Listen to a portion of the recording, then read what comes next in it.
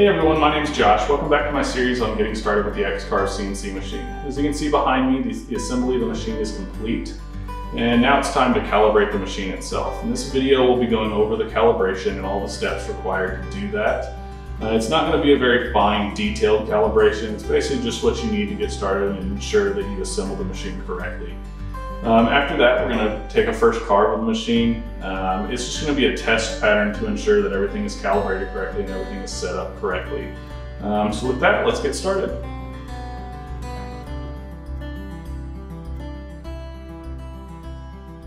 The first step I take to calibrate the X-carve is to ensure that the Z-axis is square to the wasteboard. We do this by holding a square flat on the wasteboard and holding it up against the spindle mount and the Z-axis itself. If it's not square like you see here, the first step we take is to loosen the four screws that hold the z-axis onto the carriage.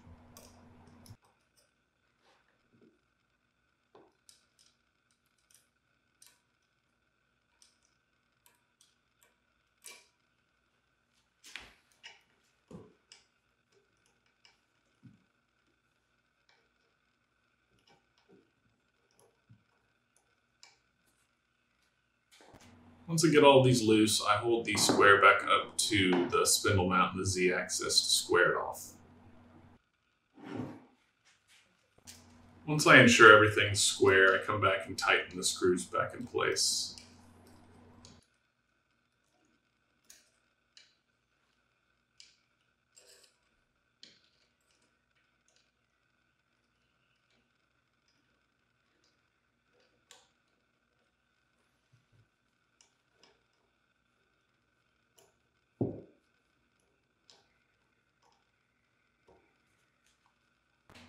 The first few days after assembly, the belts can stretch and loosen a little bit. Due to this, they need to be retightened. I follow the same steps as I did in the assembly process, pulling the belt through to tension it by hand so that only the first few threads of the screw are showing through the hole in the end cap. And then tighten it in place so that an audible tone is heard when snapping the belt with your finger like a guitar string. I repeat this process for the other two belts on the X-Carve.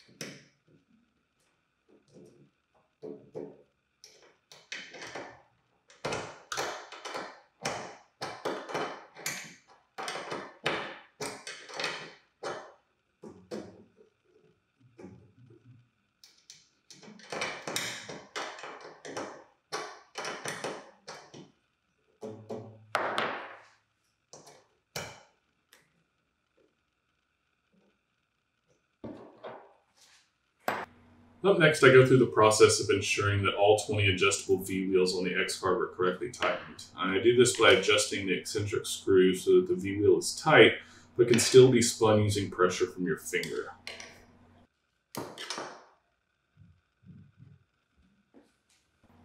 After this, the initial calibration of the X-Carve is complete, and you can plug the USB cable into your computer.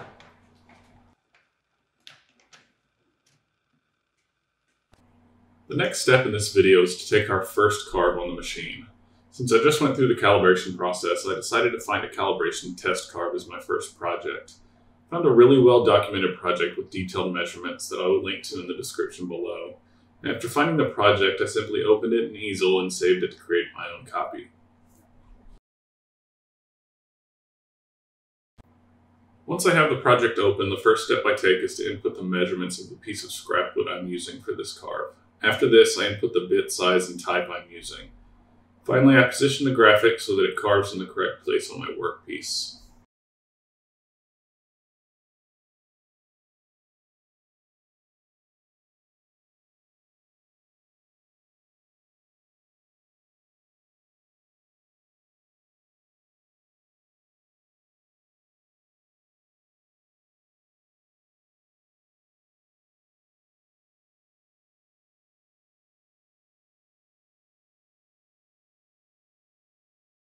Next, I secure the material onto the waste area.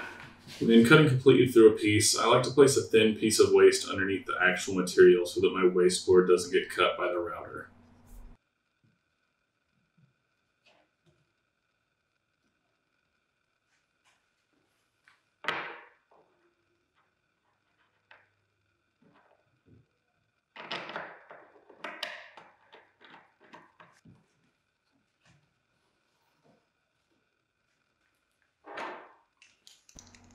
As you can see here, I should have placed the clamp to the right of the material a little farther towards the edge so that it wouldn't get clipped by the router. You'll see this later in the video, but I was able to fix this before any damage was actually done.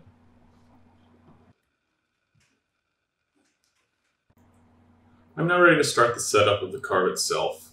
The first check is to ensure the machine is home to the correct position. Following this, easel ensures that I correctly measured the material, secured it in place, and correctly set the right bit size and type. Next up is zeroing the machine to the material height itself. I use the Z-probe, but this can be done manually as well. The first step here is to attach the Z-probe by attaching the clip to the collet and plugging the lead into the carriage.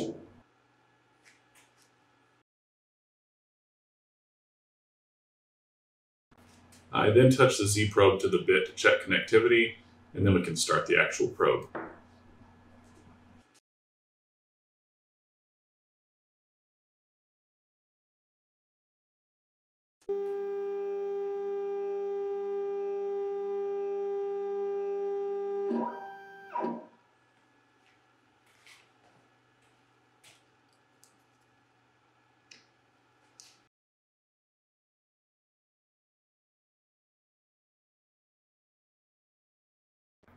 Next, I set the XY0 of the spindle to the bottom left edge of the material itself.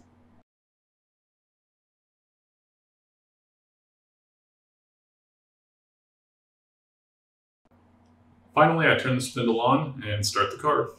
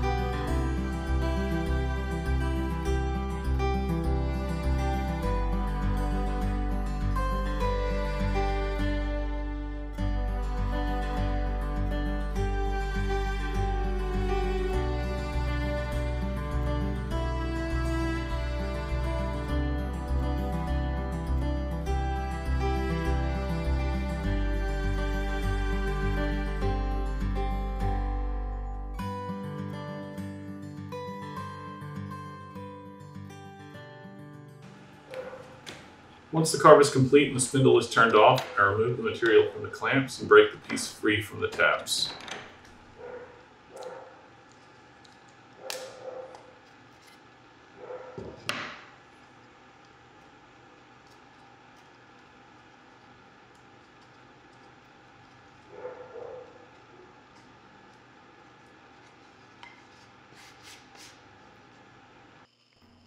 Here you can see me taking the necessary measurements to ensure the depth of cut is within a reasonable margin of error.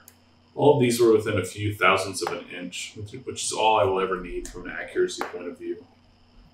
Unfortunately, I wasn't able to accurately measure the size of the shapes as I used a 1 16th inch bit instead of the called for 1 8th inch bit. I calculated out the measurements after filming and they were all within the margin of error.